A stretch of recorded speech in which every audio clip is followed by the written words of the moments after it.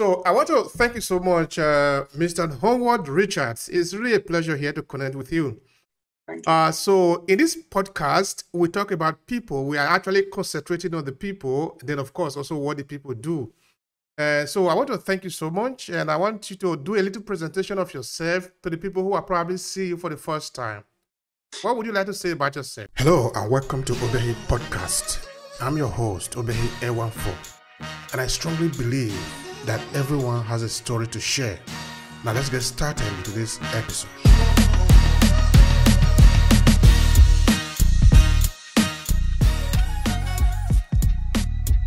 Yeah, thank you first of all for having me on board. Um, I appreciate that. So my name's Howard Richards. I am a, a youth worker, senior youth worker in the Coventry area, um, originally from Birmingham. And my journey has stemmed from being a young carer and looking after my mother from a young age um, to performing as a musician and using my talents to encourage younger people with changing the narratives in everyday life. Changing the narrative. Anyway, we really do have enough time to talk about all this one today. Uh, so you were born in, you were born in Birmingham, right? Most definitely, Birmingham. Uh, uh, okay, so tell us about that. Uh, I've never been to UK, though I've talked to a lot of people in the UK. So tell us about that, the, the place. Let us uh, give us some feel of the, the place where you were born. Birmingham, Birmingham is a it's an interesting place. It's not as big as sort of London, um, but it's a place which is you know it's multicultural. There's you know different religions, uh, different faiths, different beliefs. Um, it's a it's a it's a place of of, of love. I, would, I should say. People are always sort of willing to ask if you're okay. Um, I've never had any issues. Um, however, there it is quite a, a difficult place to be if you are a young person growing up in around the city. I would say, but almost other than that, it's a it's a really play, nice place to live. That's interesting. That almost make me want to visit now. Yeah. All right, Richard. So, uh, when you were growing up, tell me a little bit about your trajectory. What were you like aiming that you wanted to be? Because, like I said before, we are really here to learn about you and also your passion. a, a bit a bit like most kids, I had this dream of being a firefighter or you know a policeman saving people from burning buildings. Well, that didn't happen. Um, I, I, I, I fell in um, to not quite knowing what I wanted to be at 13. I went to university. I studied being a paramedic and thought, this isn't for me. What's my purpose? What am I good at? Um, and with that, I was able to um, meet and mentor while I was doing work experience, who showed me the ethics of not only being a young carer, but for being a man. And he identified my talents, which was people and music. Um, and that put me on my on my right way, should say. And now I will try to pay attention to, to what you said no, about purpose. That becomes really very interesting because I think that also reflects what you do today because you are working with the uh, with the youth. Uh, that is um, anyway. Let, let me suspend that for now. We'll come to that later. so this, this idea of purpose, what did you start to explore it? Like, uh, you know, some people they find it very easy to just go the easy way. No, you don't need to because if you want to find a purpose, you need to have to dig a little deeper. No, Yeah. uh, so when did it become necess- when did it become important for you to do this? I would say when my when my mum had a stroke, um, I was in a position where I didn't know what I wanted to do at college. My mom had had a stroke, and it was like, right, I actually need to grow up now. I need to be a man. And with that, Obi, it, it was a case of, okay, what what am I good at? And I'm, I'm a religious person, so I, I always say, God, can you identify to me what what where I need to be or what I should be doing? Um, and and it was a case of me having to revisit my education, so going back to college and doing a course that I thought was okay, which was more medical side of things. Um, there was a lot of, you know, trials and tribulations throughout, but it was all stepping stone to get me to where I am now. And, and when at that moment, okay, uh, again, sorry for uh, the stroke that your, your mother had. Uh, those are some of the challenges of life. At that time, that it was challenging for you, I want to believe. Yeah. What what helped you to uh, sort of find your footing in defining uh, what you eventually call your uh, identity, your journey, your work? What you are going to do as a contribution both to your family and also to the society. So I'm trying to understand what helped you. I would say it was um, weirdly enough, it was my mum's heart that that did it. And the reason I say that is, is my mum was to me was my superhero. Um, she's still here today. She's still here today. She's my superhero, and I hit a stage whereby I hit a stage whereby I I, I kind of seemed like whatever situation she was facing, I noticed that she would always overcome it. She had a, a triple bypass. She had strokes, um, clot on the brain. She lost her walking and her ability to speak. So I feel like my strength had had, had, had almost come from her. Um, and that allowed me to kind of try and sense purpose for myself. I thought, well, if she can do it, I can do it. And it took a lot of a lot of reading, um, a lot of time alone, and importantly, a lot of forgiveness for myself because I was in a position where I thought I had let myself down with not finishing university. So I would say that was the main reason. All right, thank thank you for that. So I also want to believe that uh, those things that you were reading sort of also help you to fine tune uh, your journey, um, because I I understand that uh, when you decide that this is the road I want to go, yeah, you don't know what the road is yet, but you say this is where I want to go. You are going to have to find out uh, about it as you journey along it. No, so uh, in that case, it becomes necessary that we need to find out from other people who have been there before, who have journeyed the same road before. And so it becomes important now to talk to mentors, to read books, to go to the classes, to learn, because this time you are not just um, on the loop that the society usually will set for you, know, uh, when maybe in the in the regular lifestyle you you are a child you need to go to the regular school. Then from that regular school you need to be promoted to the regular program again until you finish your university. Yeah. This one is a different thing because you have decided what you want to do. So you are going to train yourself to become expert in that area. So you started to read and all that. So yeah. can you help me? What were you reading? What were those things that you were reading after you decided where you where you want to go I actually read a book by a lady called Joyce Myers, and this book was called The Battlefield of the Mind. And this book absolutely changed my That's thought. powerful. yeah. It gave you everyday tools to fight with um, thoughts of self um, self hate, uh, self doubt, um, pushing forward, and creates tools to to get to get the job done essentially. Um, fitness was a major aspect as well. Um, I, have always been into boxing and sport, so that also helps as well. I think we often, you know, we look after our outside shell, but in terms of vitamins for our for our mental health, reading and, and, and my faith most importantly is what what sort of saw me through. All right, thank thank you for that. I understand now that okay, there was this challenge in the house, so you decide to uh, look for a way to make a contribution both to your family and also to the people around you. Yeah. Uh, all right. Now, if you go to the United Kingdom, just like many other uh, European society or in the West, as it were, there are a lot of people who really have some challenges. I'm talking of uh, the youth in this case because that is where we are going to spend most of our conversation today because you work with them. Yeah. Uh, so this idea of finding a value, finding a purpose for your life is something that is a kind of um, that is very important because most most of the young people out there do not do not find the purpose. So they are sort of lost sort of no? I interviewed uh, a lady uh, in the uk also who work in this area.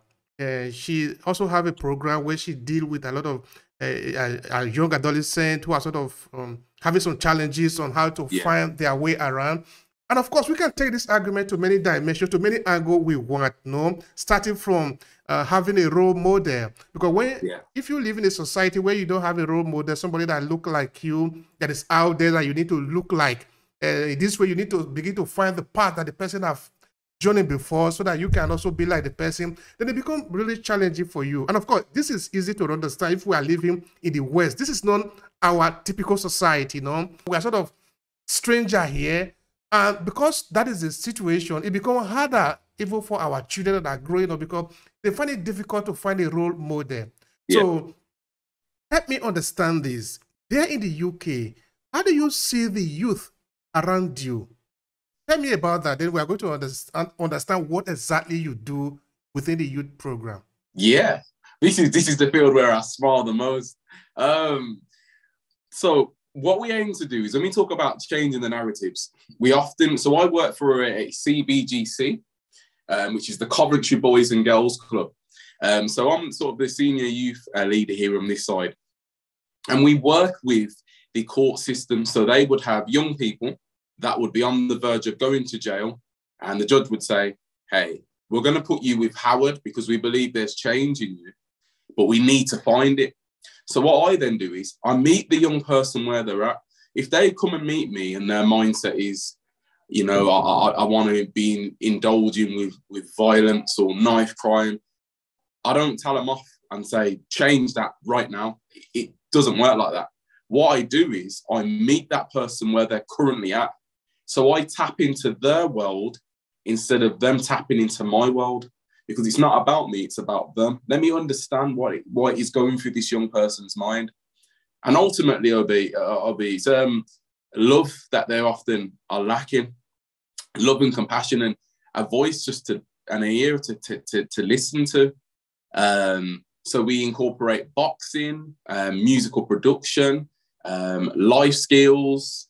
Um, sorry, is that still on? Sorry about that. Yeah, and yeah, life, yeah. Go, go. No problem. Yeah, no problem. Life skills and these sort of things to sort of meet them where they're at and to open more doors of opportunity, then getting them into employment. Let's start with how the project started, the one that you are working you are working with now. Tell us about it. Just explain the project itself to us. What what really is it? Yeah, um, it was my manager actually, um, Leah. She created a, a project called the Mac Project. And the Mac Project is all about music and change. Um, so with this, we work with young people on an individual basis.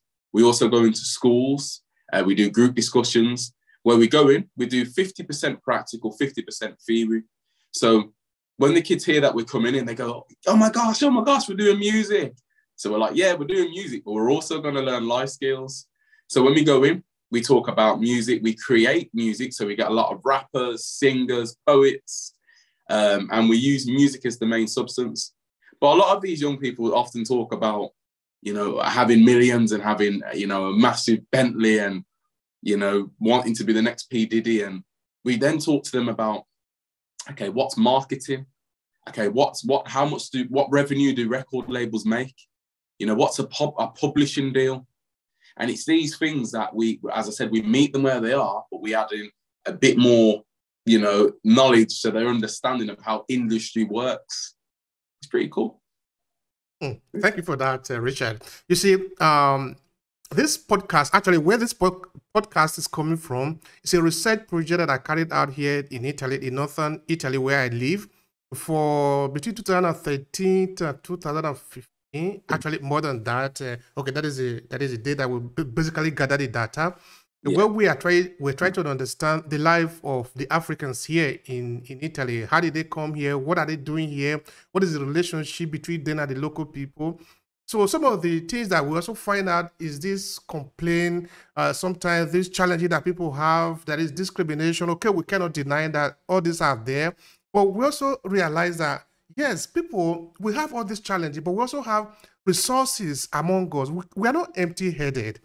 And eh, whether you are looking at people who just come from, I don't know, from Somalia, from Nigeria, from Ghana, from Ivory Coast, these are human beings that have already been formed before they left their country.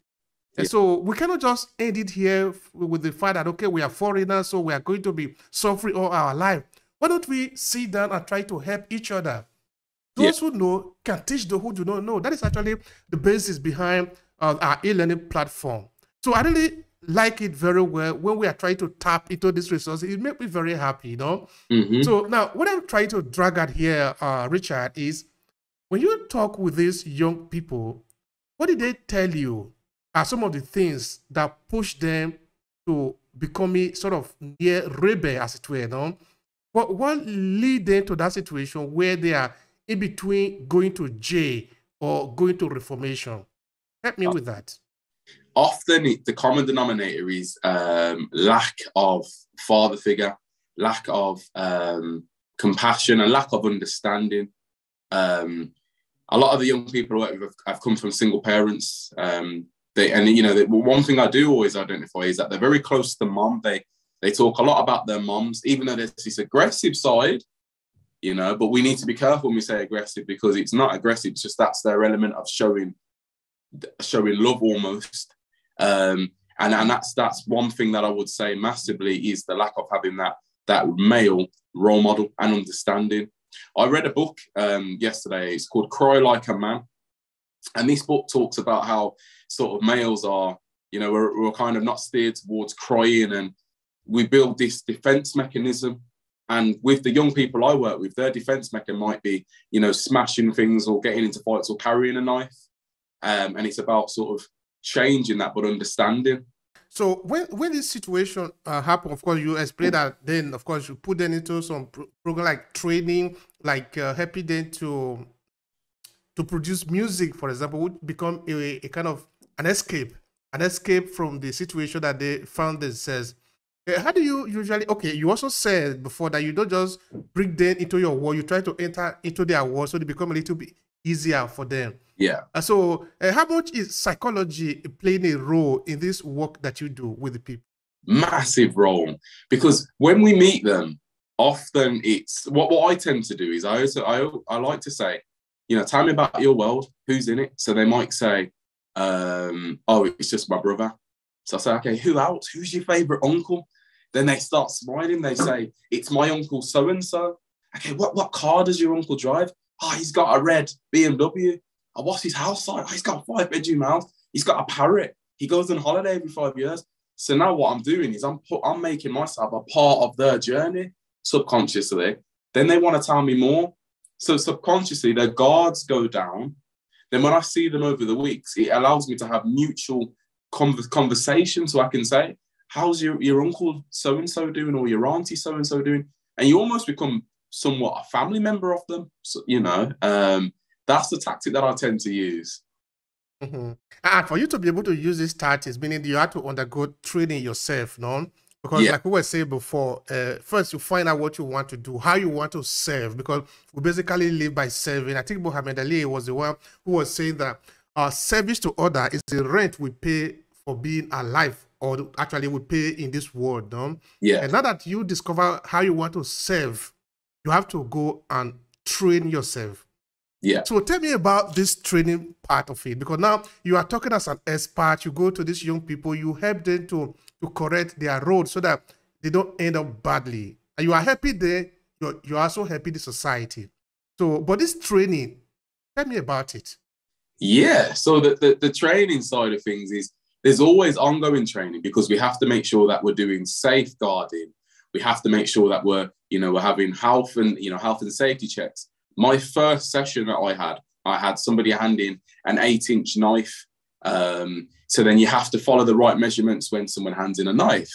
Um, and then we also have to make sure that okay is this person that i'm working with uh, you know okay with being spoken to by a male? Because we've had a few where they've lashed out and hit another male because they're not comfortable with it so there's the, the training is always ongoing making sure that we're always following protocol. Um, and, and, and essentially, it's, it will always keep changing, even down to cases of dealing with young people that are going through fields of extremism um, is another case. So it's vital that my training sessions that we, that we do um, is always sort of upped each month, each year to stay on track, especially now with social media as well. It's we have to be on our A game with social media and on, on the side, the cyber side of things also. All right. Now I'm sort of curious on um, when you when you meet these uh, these children uh, who come to this uh, sort of um, rehabilitation program. I don't know if I can say it like that. Um, did they sort of tell you that they have a mission in life?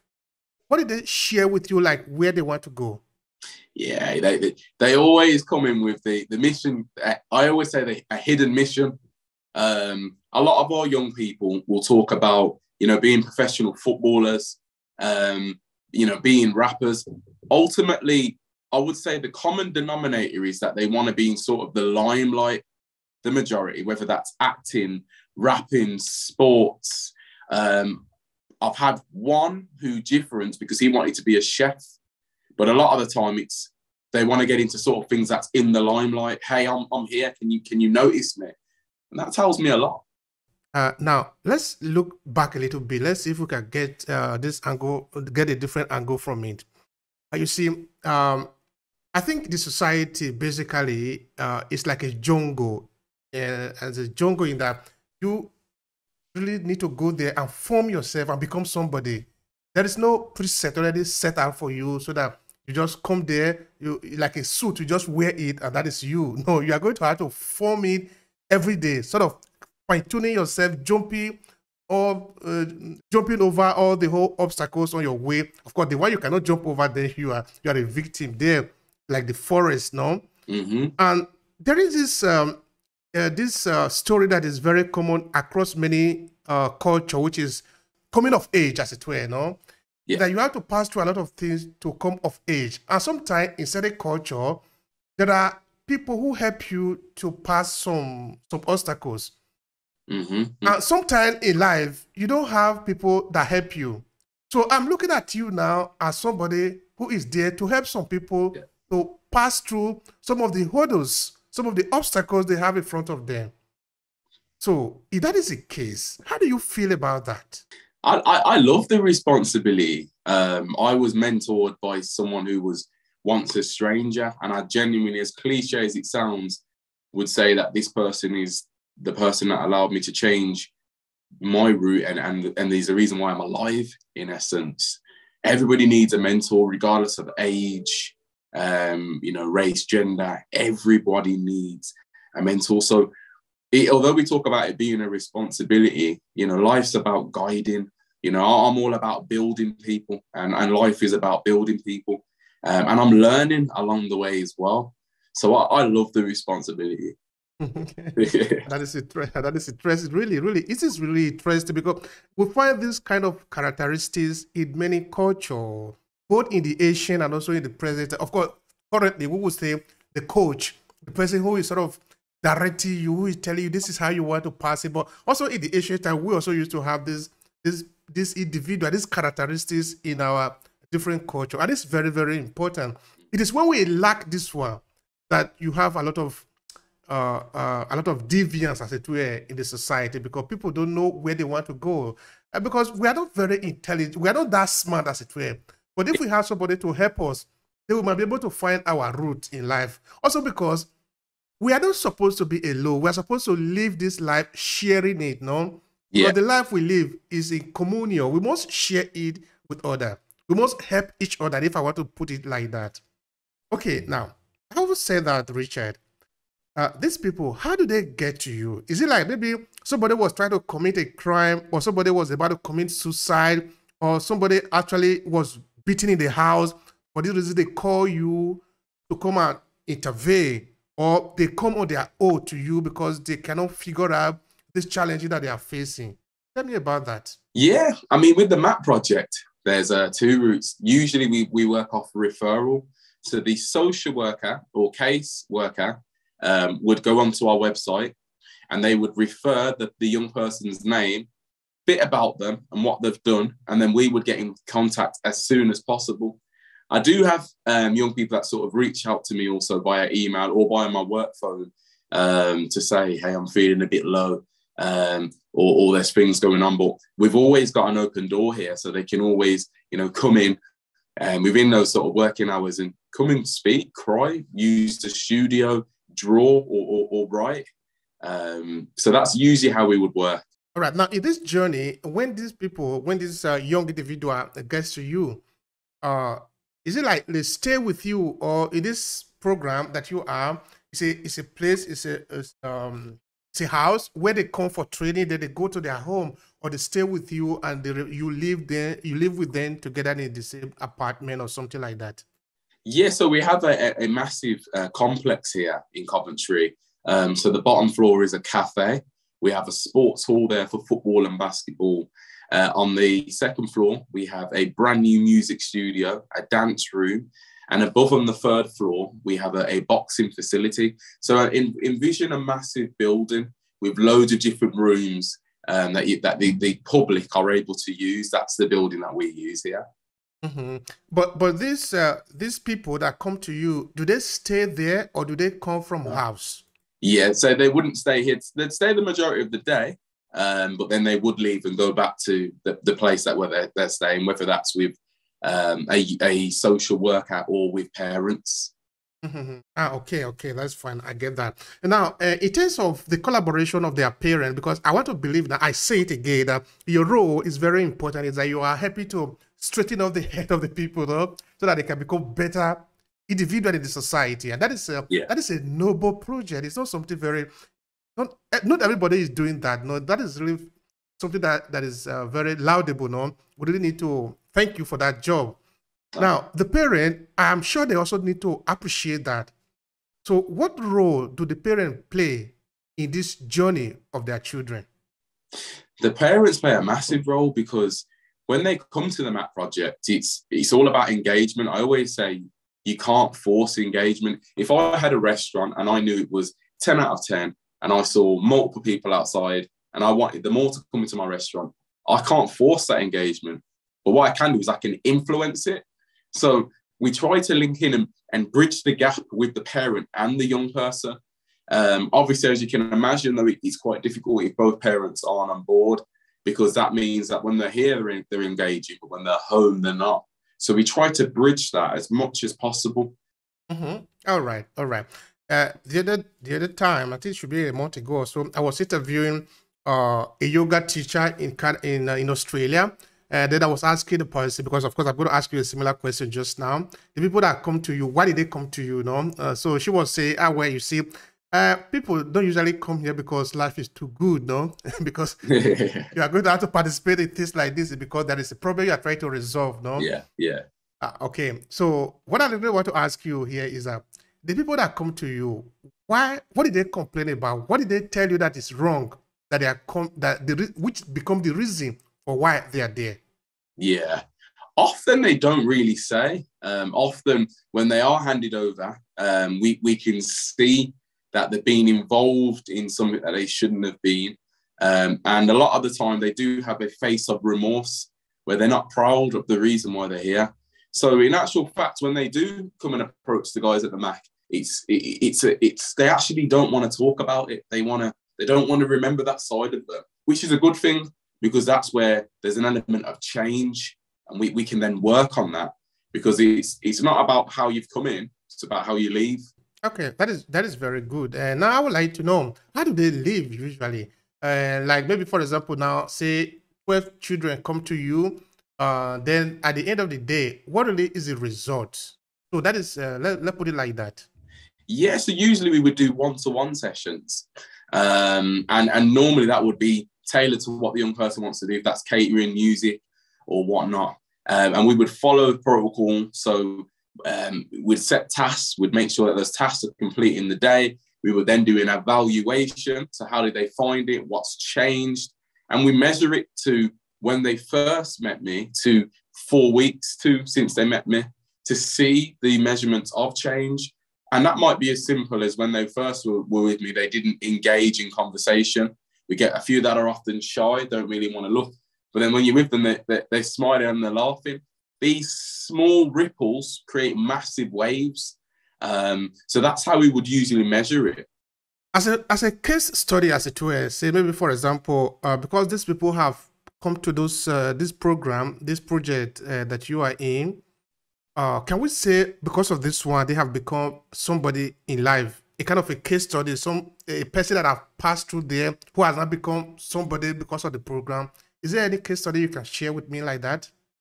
Yeah, we've got um, one of our biggest sort of case studies. Our, our biggest testimony is a young person who um, was with me from doing an offence, um, which I probably can't go into because of confidentiality. Uh, it was quite a big offence.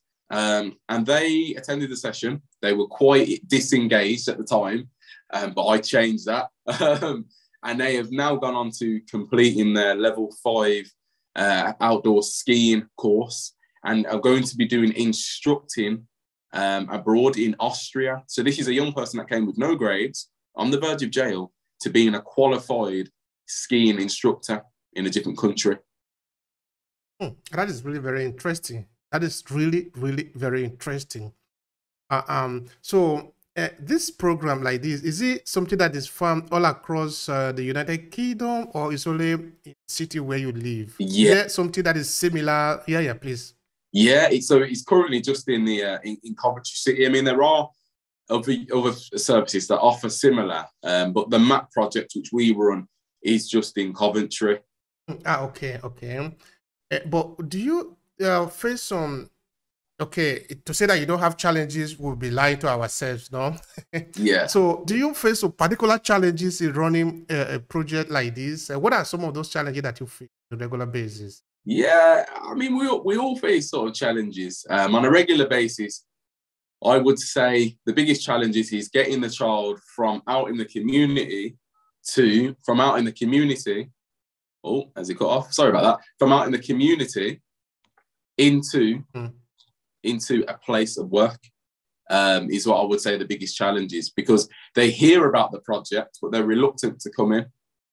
So that would be uh, uh, uh, one of my biggest challenges. But other than that, as soon as they're in here, they don't want to leave. Wow, that is interesting. I mean that, that that is that is a kind of um a community life as it were, no? Yeah, yeah. So are you the only person that is working with them there, or there are some other persons who have to intervene? I don't know. Maybe depending on the case, I don't know what kind of case really in to in the specific uh, instances. So, are there other people that come there? Who are they? What kind of people? Yeah, so there's myself and and four others. So there's me. There's also my, my colleague John Bernard, who's a professional poet.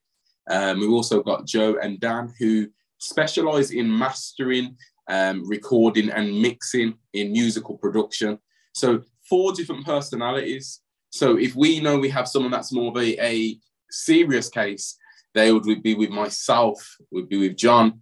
Um, and then if we found that there was someone with a more serious case, but their their um, style of speaking is a bit quieter, a bit softer, then we would usually go to sort of Joe and Dan. So we've got the right personality for the right person here. Mm-hmm. All right.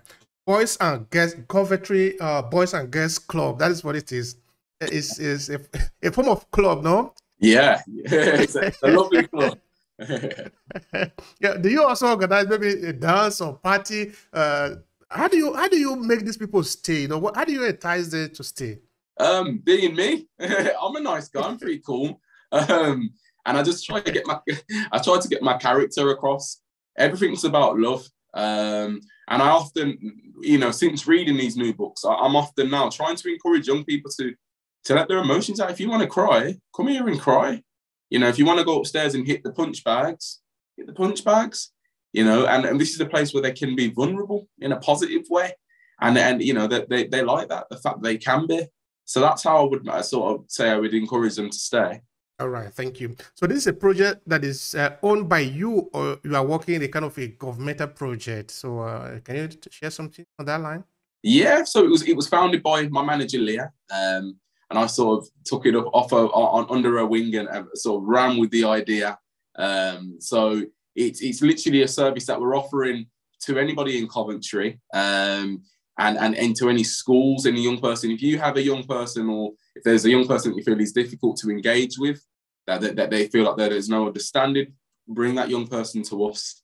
Um, we don't just offer this uh, the MAP project. We also offer a, a service for young people to, to come and take part in sports here as well on, on two days in the week where they can play football and activities, catering. And we also do activities outside. So that might be ice skating, skiing, um, and, and loads, loads more.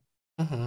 All right. Now, I don't know if I've asked you this before, I may have forgotten. Yeah. That do you know why uh, these boys and girls are in the situation that they are, that they need your help? I mean, what lead to their situation? Yes, usually so, most of the cases. Yeah, so the, the Boys and Girls Club has um, it's always been here. It's run for many years now, but they wanted to add something to the club, the organisation, and I believe it's because they got to a stage where they they also felt, okay, we've got the facilities, we need to get engaged with more young people now because we've got the facilities and that's why they created this this sort of um, project to add more value to what we stand by and that's you know helping out in the community you know, doing the right thing at the right time. All right, thank you for that, Richard. Now, knowing um the situation of uh, these people that need your help that that come there, no, uh, you know, one thing is is to say, okay, you are hungry. I'll give you food to eat, no, so you are no longer hungry. But if I know that the root cause of your hunger is because in your in your house there is no money, no source of income, then uh, maybe empowering you to get a job is better than giving you food because if I give you food, I'm only resolving the problem only for today. So actually, what I'm trying to ask here is knowing some of the problems that lead them to where they are before they come to you.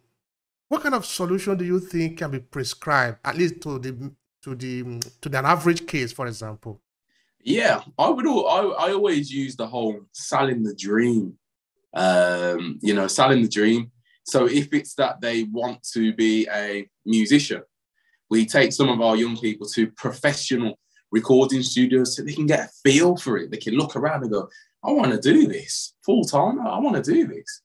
And then we also encourage bringing in people from the community who have, you know, accolades that they might have been professional rappers or footballers or sports stars or doctors, or so then we bring them in house. And then we also do a workshop called the ESF where we get them ready for employability. So we prepare them. We do role play where we prepare them for interviews, paperwork, and how to dress, health and hygiene, you know, smelling good, dressing good. So these are the tools we do actually do throughout the sessions. So maybe, for example, one of the boy or girls that come to your club is interested in developing a personal passion. Maybe, for example, she's a musician, she like music, but she want to become not just singing, but produce music also for other people as a job. So she want to become an entrepreneur. A thing like that, uh, do you what kind what kind of help do you have for the people? Yeah, we've got man because we're such a big organization in Coventry. It means we can kind of get our foot through many doors. Um, like we said, we, we're big artists with massive uh, musical festivals, and we also get a budget as well, which is pretty cool. So fortunately, we've got the right links to make things happen um, because of the name that we have behind us and what we stand for. So we've often had guys that have come in as um, you know singers but have left as rappers because we've engaged them and linked that partnership with a, a, a poet. Um, so it's it's there's, there's I would actually say there's nothing that is we're unable to do in terms of allowing them to have a feel for a profession that they want to go into.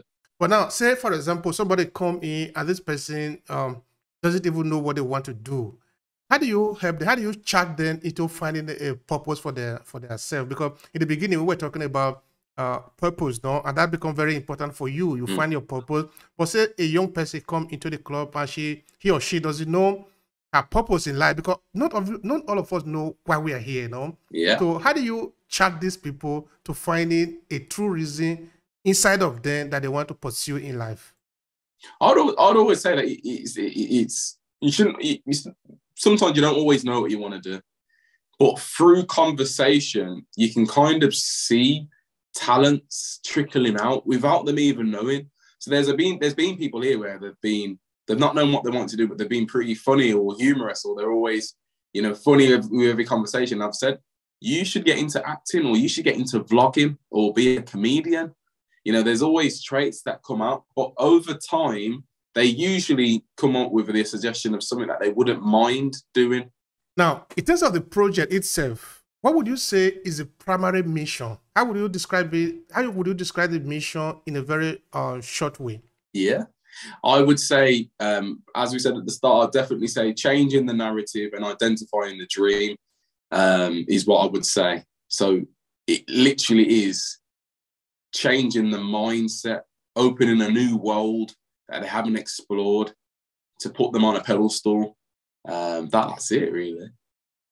Mm-hmm. All right. Now, okay, you personally, you are running this project. Um, you're having a very key role to play here. And like I said before, and yeah. I want to repeat it again, your role is very, very important. No, yeah. that you are helping uh, these uh, young kids to uh, find a route, to find a value in in their life. No, this is very important.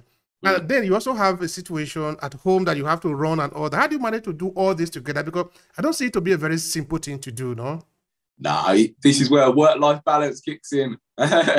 um, So this is where I, I, I make sure I'm focusing on my training. I like to run. I like to eat well, uh, and socialize with family members and friends. But my work doesn't feel like work. It's it's um, it's my when when you're living in purpose, it doesn't feel like work. it really doesn't. And how do you keep yourself motivated to continue this work? Because sometimes all of us we, we do have some down and some up moments sometimes because it's not always up, sometimes it's also down. Yeah. So yeah. how do you how do you encourage yourself? Because if you have to encourage other, you need to be encouraging for yourself too. So how do you do that? Yeah, through through reading and and in every day exploring something new. Um, whether that's new uh, podcasts that I watch, whether that's um, new books, um, but ultimately, what keeps me going is realizing that you know I, am waving the flag not only for me and my career path, but for, for for my mother. You know, for one day when I have children, it's, it's I'm, I'm, building a legacy also for myself. So that's ultimately what keeps me going. Uh, I just wanted to ask you something before I forget it. The demography that you concentrated is it only uh, the African diaspora, or also or any type of person is welcome? Yeah, any we have any sort of here. We have from Caribbean to African to Polish um, to to Asian. It's all mixed. Uh, how do you manage to uh, to deal with all this bubble, all of them put together? No, is it is it that easy for you? Yeah, yeah. Um, love is a language we all can um, sort of communicate with, and that's the language that I use. So it's it's, it's quite easy. Thank you very much, Richard. I've asked you all the question I wanted to ask you, and I really appreciate the time. Now, to conclude the conversation, what would be a kind of a final message? Uh, it can be maybe something I didn't ask you to conclude it. Uh, so conclude it in your own way. I think I would conclude it with what we touched base with in terms of finding your purpose. Identify if you're money driven or purpose driven, you know, and, and, and walk with that. And the biggest thing I would say is is small ripples create massive waves. And don't worry about how it looks currently. See the picture for what it's going to be.